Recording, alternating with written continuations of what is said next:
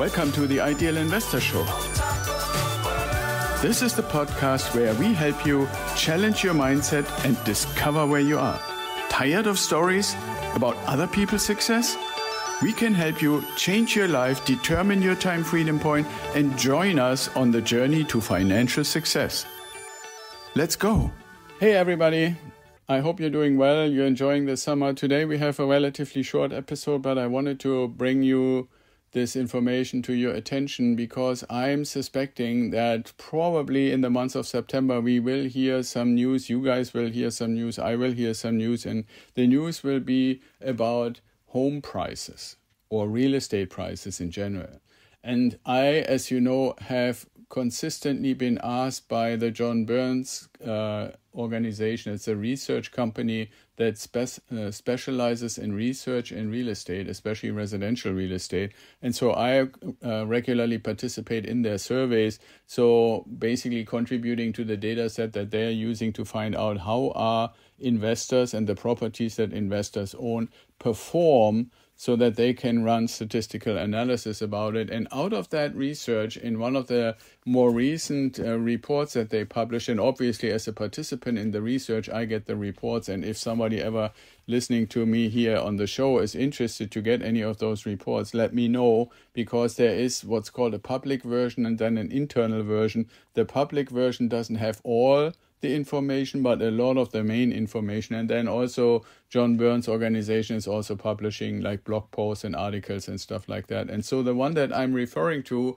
is looking at how have prices for homes developed across the country. And right now, you may have seen that there is in the media some notion that real estate prices are coming down.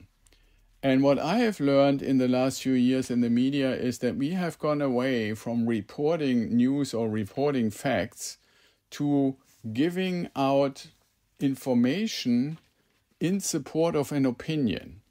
Or, which I think is even worse, is voicing an opinion that doesn't even need to be the opinion of the author of an article or any kind of news piece or video on, in, on TV in the financial news.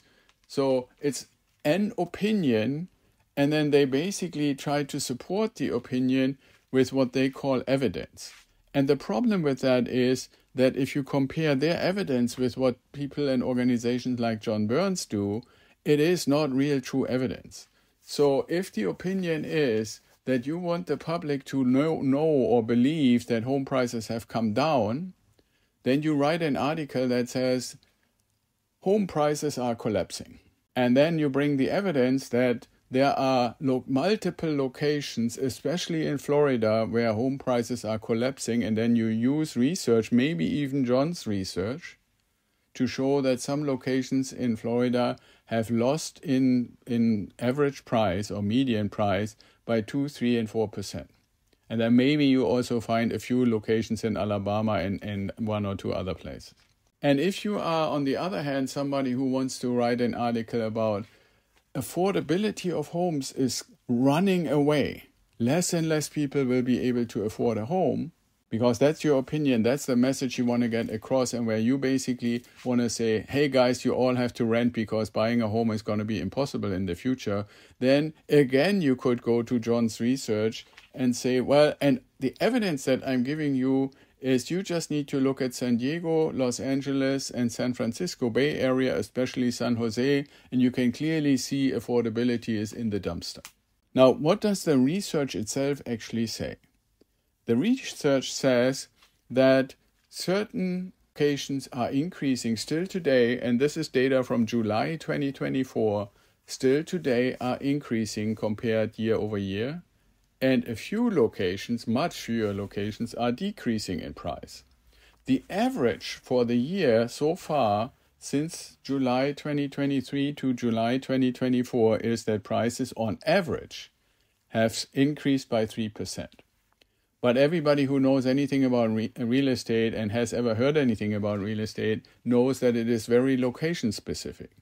So, like I said, Los Angeles area, San Diego area, San Jose area, San Francisco area, not all of it, but several places in the Bay Area in San Francisco, they all have increased year over year in the last 12 months by 8% in price.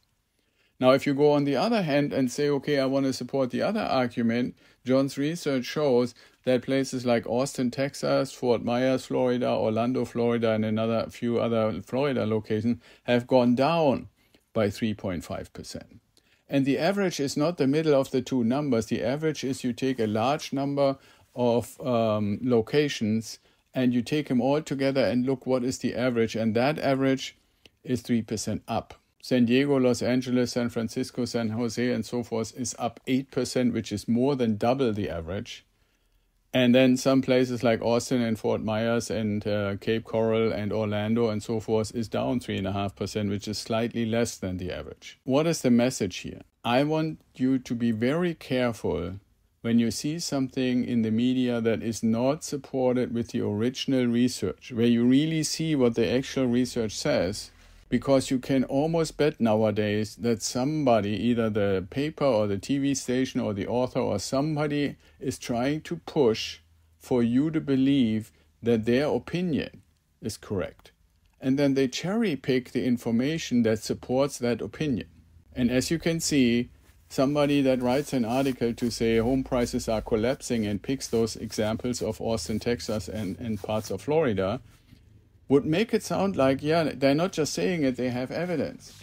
While what they left out is the national average and examples of places where it's going up. But you might be thinking, well, real estate is going down the toilet. So that's my message for today's episode. I know it's a little shorter than normal, but I wanted to get for you across not only what the data, what the actual research says that prices have still been going up 3% in the last 12 months, which a lot of people would be surprised about, but also to be careful where you get your information and don't fall for people who just want to push you to adopt their opinion. So that's it for today. Be well and stay safe. And I would love to see that you rate the show, download the show, and give it a review or a comment because that really, really helps us to get the show to people and get more recognition. That would be great. And bye until tomorrow.